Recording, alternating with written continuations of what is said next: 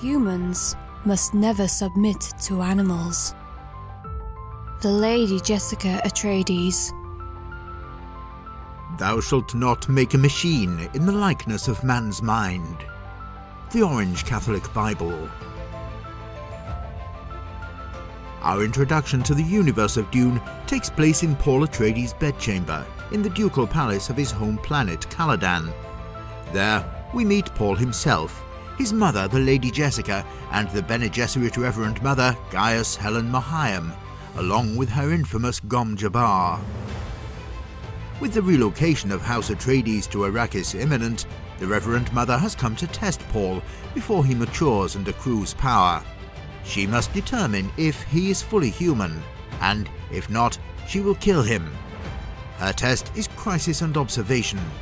She wants to know if Paul can use his will to override his instincts and remain focused while his reflexes are screaming at him to flee. If Paul can willingly endure excruciating pain to survive, he will prove that he understands consequences. An animal does not understand consequences.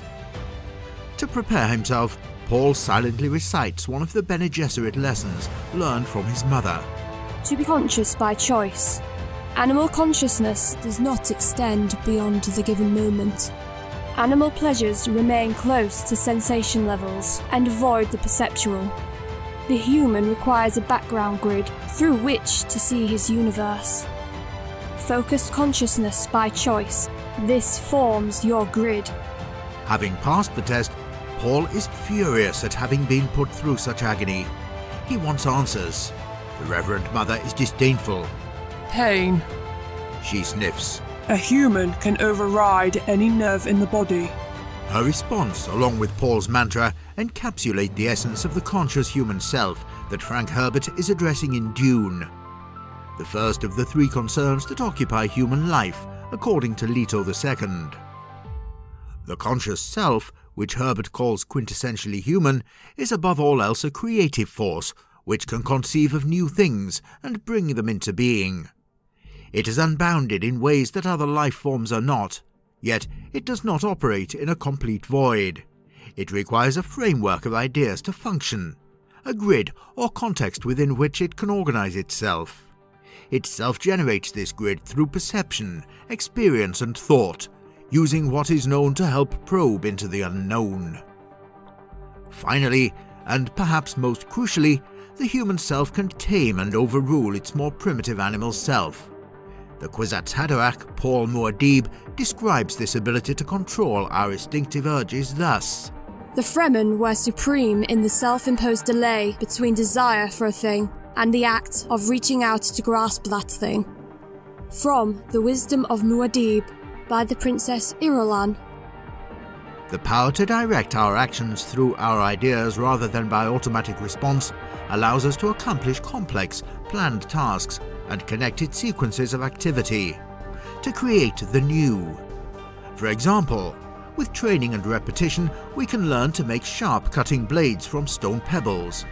We are not born with this ability, but we can learn it, and by learning it, we not only enhance our ability to survive, but we expand our consciousness to understand that objects can be shaped by our hands and imagination.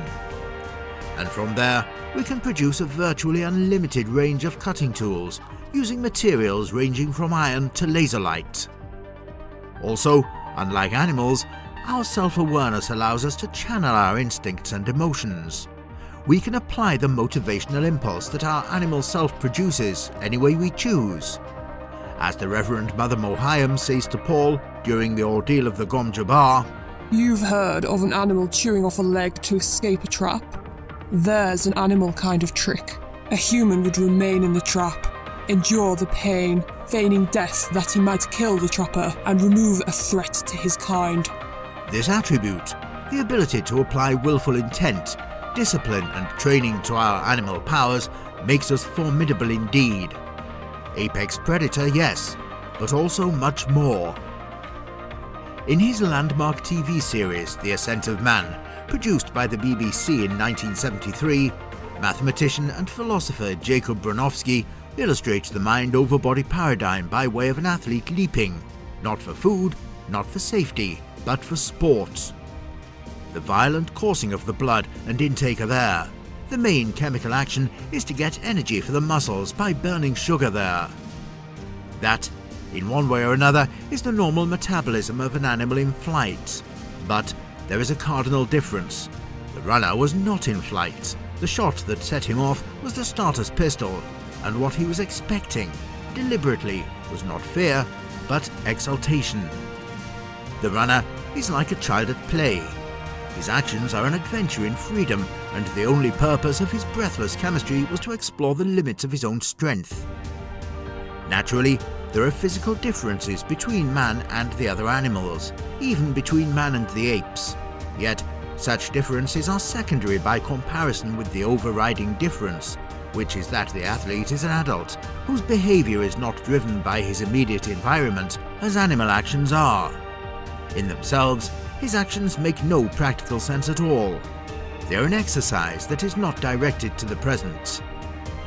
The athlete's mind is fixed ahead of him, building up his skill, and he vaults in imagination into the future. Poised for that leap, the pole vaulter is a capsule of human abilities. The grasp of the hand, the arch of the foot, the muscles of the shoulder and pelvis, the pole itself, in which energy is stored and released like a bow firing an arrow. The radical character in that complex is the sense of foresight, that is, the ability to fix an objective ahead and rigorously hold his attention on it. The athlete's performance unfolds a continued plan, from one extreme to the other. It is the invention of the pole, the concentration of the mind at the moment before leaping, which give it the stamp of humanity. In this passage, Bronowski is reminding us that no other land animal on Earth can leap a 20 foot obstacle, yet humans can, because we can conceive of a way. By using a pole to leverage our mass and velocity, fashioning the pole correctly, practicing the precise movements required, and finally executing them in a perfect sequence to achieve something that we are not naturally capable of doing. When Paul says to himself, Animal consciousness does not extend beyond the given moment, he is referring to the same conscious process that Bronowski describes in the pole vaulter's leap, that of fixing a future goal in our minds and making it the objective of our body's actions we use our will to focus our cognitive powers so that we can act upon that which we conceive. But there is more. In the next quote, the Reverend Mother says, A human would remain in the trap, endure the pain, feigning death that he might kill the trapper and remove a threat to his kind. Mohiam does not emphasize self-preservation here. Rather, she focuses on removing a threat to other humans. Uh, Herbert is pointing out that, much as we see ourselves first as individuals, a large part of our motivations, conscious or unconscious, are oriented towards the group. Humans have a built-in interest in the survival of our own kind. As a social species, much, if not all of our activities are oriented to and by the group. We rely on our society to subsist, since most of our survival strategies are group activities, from early big game hunting and agriculture to high-tech design and construction. Group survival is therefore a primary concern, and we are sensitive to external threats to our group's interests and assets, whatever they may be. Conscious control over our own nervous system and a concern for other humans beyond our own immediate kin. These, according to Muad'Dib's son, the Emperor Leto II, are two of the three hallmarks of humanity, and the Reverend Mother has come to Caladan to ensure that no one who does not possess them ascends to a high position of power.